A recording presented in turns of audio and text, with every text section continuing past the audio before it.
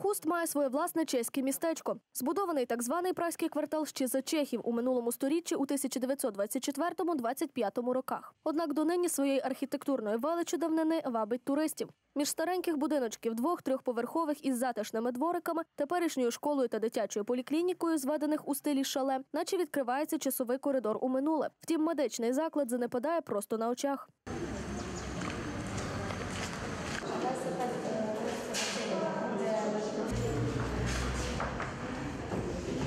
Унікальне перехрестя культур і епох просто зникає. Жалюгідний вхід, дах, що протікає та вкритий мохом, мокра з пліснявої стеля, обшарпані стіни та у катастрофічному стані підлога. Такі умови сучасної медицини.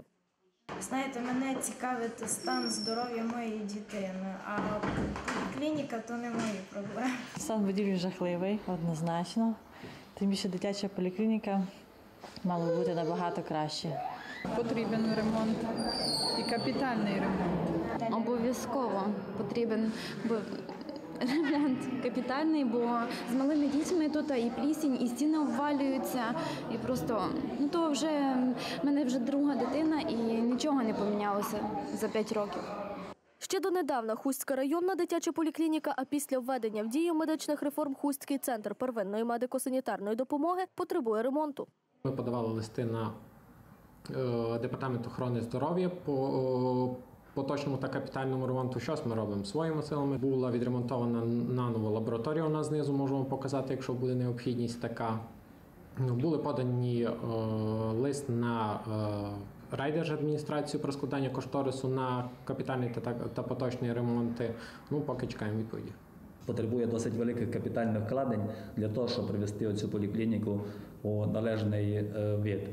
Якщо е, торкатися безпосередньо площі, то площа тут є досить велика, вона сягає біля 1900 метрів квадратних, і на цій площі проводяться самі різні види обстеження е, дітей, е, дітей е, підлітків, які потребують відповідного обстеження.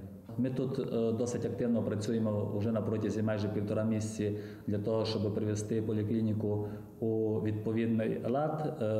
Розробили декілька мероприємств з цього у цьому напрямку.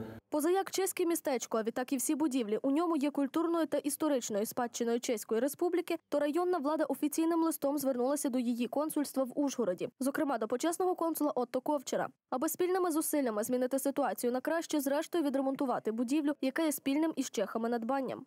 Якщо е, торкатися трошки державного напрямку, то у 2006 році між Міністерством культури України і Міністерством регіонального розвитку Республіки Чехії було був укладений відповідний е, договір про співпрацю.